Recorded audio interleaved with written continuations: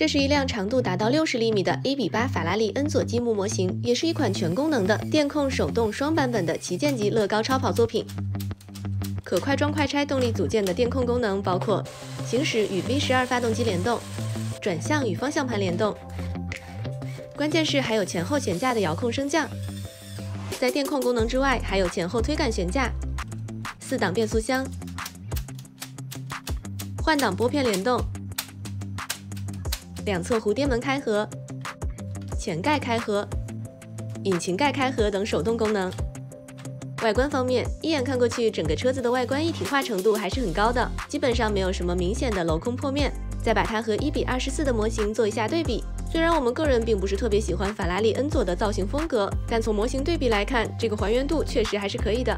本期评测在提出所有的大问题和小问题之前，我们先来稍微评价一下这款作品。从上面这些外观和功能的基本面来看，这款作品在设计级别上至少是不输乐高四款旗舰级超跑的。相对于乐高同比例跑车一般八个档，这款恩佐对变速箱进行了压缩，只做了四个档，但增加了快装快拆的动态版功能，以及加入了乐高四款跑车都没有使用过的悬架升降这个功能。而相对于我们所熟知的那些海外乐高茂克大神的经典作品，这款来自国产 K 盒子的法拉利恩佐在产品与功能定义方面，似乎也要更加迎合广大玩家的普遍期待。比如说，对比同样是动态版，并且同样也是拥有四档变速箱的，也就是在功能定位方面非常相似的 Bruno 的法拉利488，这款恩佐则做了动力组件快装快拆的设计。以及这款恩佐也非常大胆地挑战了悬架升降这个功能。之所以说大胆，是因为如果我们把市面上所有的一比八旗舰超跑都拿出来捋一遍的话，我们会发现，其实拥有还算比较稳定的悬架升降功能的超跑作品真的不多，就那么几款。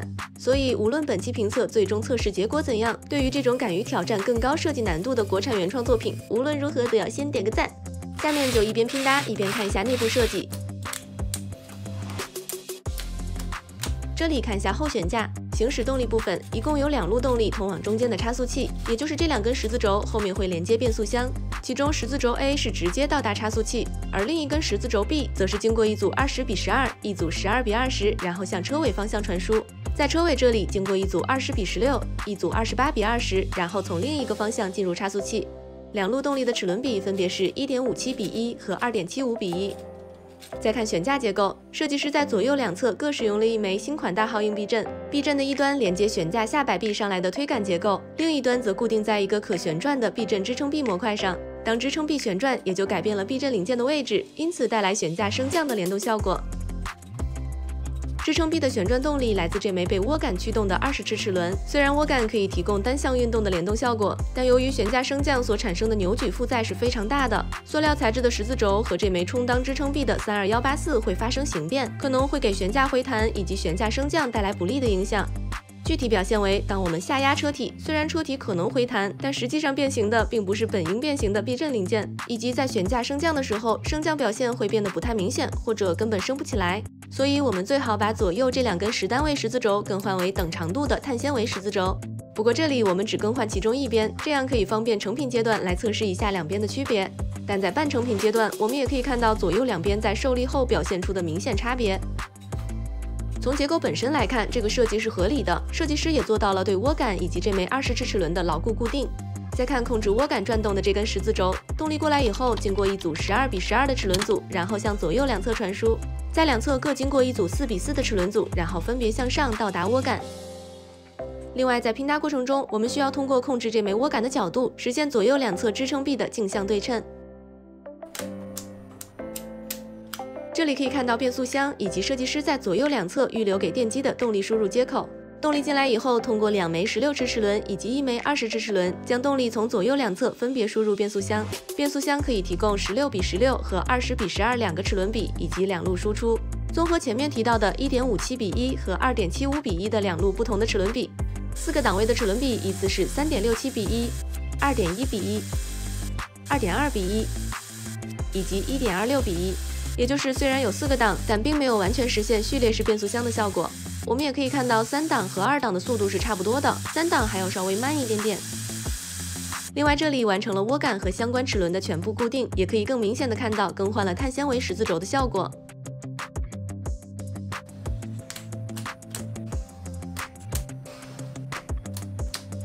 这里可以看到整个底盘主体了，控制悬架升降的 L 电机被设置在了底盘的中间这里，通过一组二十比十二的齿轮组，然后将动力向前后悬架方向传输。手动测试下来，联动是没有问题的。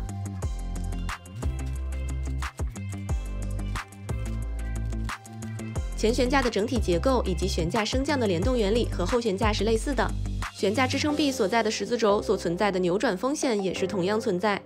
所以，我们这里也是把左侧悬架更换成了等长的九单位碳纤维十字轴。在换挡拨片的联动原理方面，和乐高四二幺幺五是类似的，以及转向与方向盘联动，这里就不详细讲啦。底盘拼好以后，我们可以加入电机做一下联动测试。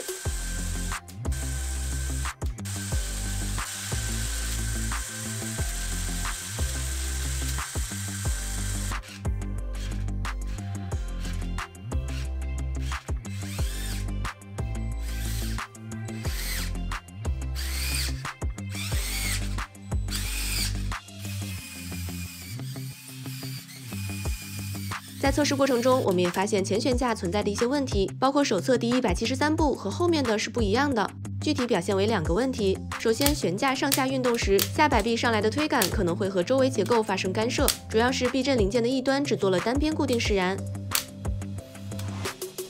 以及当我们按压底盘，前悬架下摆臂连接悬挂驱动桥的球头零件会发生松脱，这个问题则是沿垂直方向将上下摆臂拉住的这枚薄孔臂的位置太靠内导致的。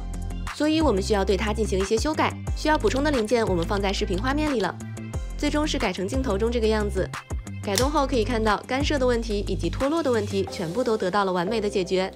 在这里我们也可以非常清晰的看到从下摆臂上来的三角形推杆设计，以及更换了碳纤维十字轴的改善效果。完成了底盘的测试和修正，接下来基本上就是外观模块的搭建。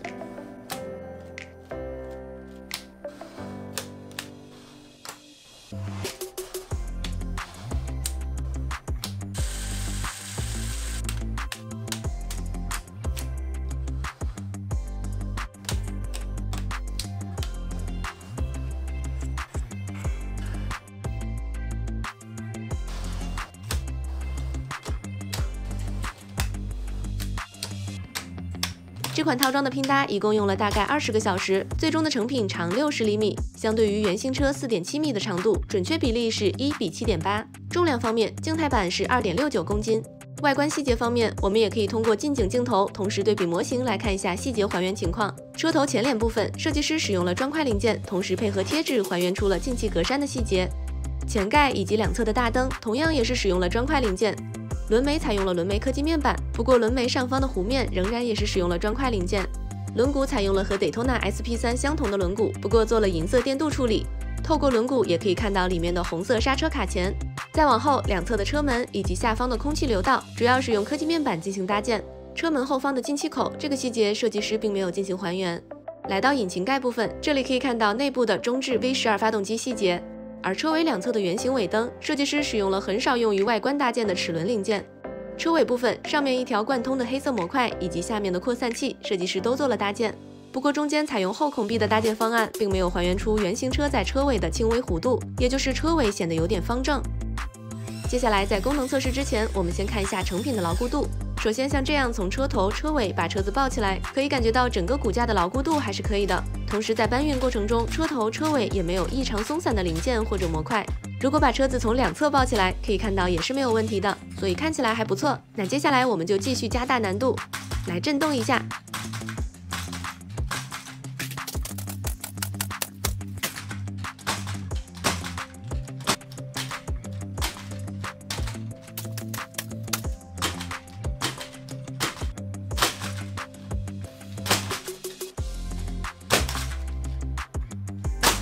另外，针对车头这几个使用了比较多砖块零件的位置，所以牢固度就是上面这样的情况。那大家感觉这个牢固度怎么样呢？接下来我们来测试功能表现，先看静态版。首先是四个档位下的行驶与发动机联动，测试下来还是非常顺畅的，档位切换也没有问题。不过驾驶室内的换挡拨片并不是很好操作。再看转向与方向盘联动。测试下来也没有问题，然后是悬架升降以及不同悬架高度下的悬架回弹。因为设计师并没有设计静态版情况下的调节旋钮，所以我们只能把车子翻过来这样调节。可以看到，在联动方面是没有问题的。当我们把车子翻回来，这辆恩佐也确实呈现出了不同的悬架高度，说明基本的悬架支撑性还是可以的。以及我们也可以看到，在不同高度下，悬架回弹看起来也是没有问题。不过，如果我们去观察避震零件的状态，我们会发现，在没有更换碳纤维十字轴的右侧悬架这里，它的回弹有一部分是来自十字轴的扭转变形。尤其是在悬架高度比较低的情况下，基本完全是因为十字轴的扭转，所以也是一不小心实现了一个类似于扭杆悬架的效果。而更换了碳纤维十字轴的左侧悬架，回弹则大部分都是来自于避震零件，并且回弹的段落感也是非常的清晰。至于其他的几个小功能，两侧车门开合、前盖开合、引擎盖开合，测试下来基本没有问题。不过车门打开以后的支撑性不是很好，以及如果不对引擎盖联动结构做修改的话，引擎盖的允许打开角度会非常小。做了修改以后会好很多。接下来看一下动态版表现，按照手册需要用到一套主控、一枚 L 电机、两枚 XL 电机以及一枚伺服电机。首先，动力组件的安装确实非常方便，直接装在预留好的位置，整个过程大概一两分钟就能完成。先看四个档位下的行驶与发动机联动。测试下来，有两个档位完全没有问题，并且行驶速度也是比较快的，发动机联动也很顺畅。不过另外两个档就会出现比较明显的打齿问题。经过观察，主要是因为向车尾走的这路动力这里，这枚蓝色的二十齿齿轮和十二齿齿轮的啮合并不是很稳定。另外，在测试过程中发生了差速器出来这里的一枚万向节崩掉的情况，所以后面的测试我们都是换成了金属万向节。转向与方向盘联动，测试下来基本没有问题。接下来是电控悬架升降，可以看到悬架升降的整个运动行程确实是非常清晰的。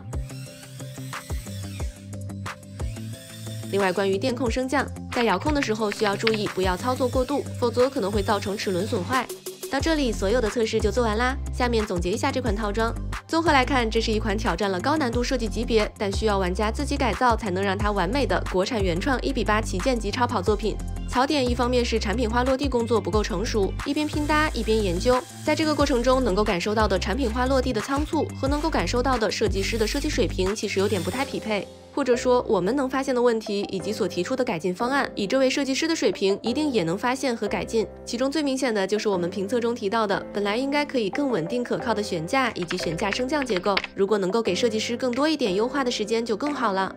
产品化落地不够成熟的其他表现，比如不均零件数有点偏多。如果按照彩盒上标注的四千三百零一片零件，不均零件数达到了六点八片。六个大步骤分包，平均每个大步骤七百一十六片零件也是偏多的。以及还有手册中发现的小错误，以及还有可能是因为修改过设计方案没有删干净的零件。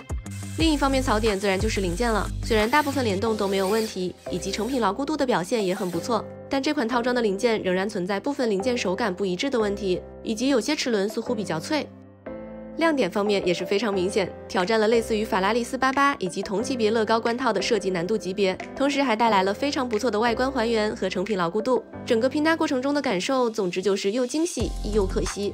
最后快速看下包装，彩盒采用了类似于乐高四二幺四三的方案，里面有三个内盒，所有的零件一共被分成了十个零件分包，六个大步骤。拼搭手册一本，厚度有一厘米多，不算动态版改装，一共有六百三十步。最后贴纸有这样的一小张。好啦，本期就到这里，咱们下期见，拜拜。好，终于这个掉下来了啊。